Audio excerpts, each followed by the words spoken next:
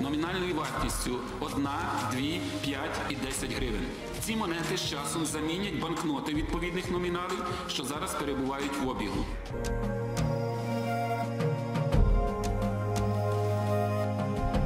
Деякі люди взагалі зараз копійки не беруть. Ну, здача не треба. Ну просто не хочеться не возитися. В свій час, коли вводили гривню, коли курс долару був долар 70 е, там, з копійок, да, тоді 10, коли копійка була гроші.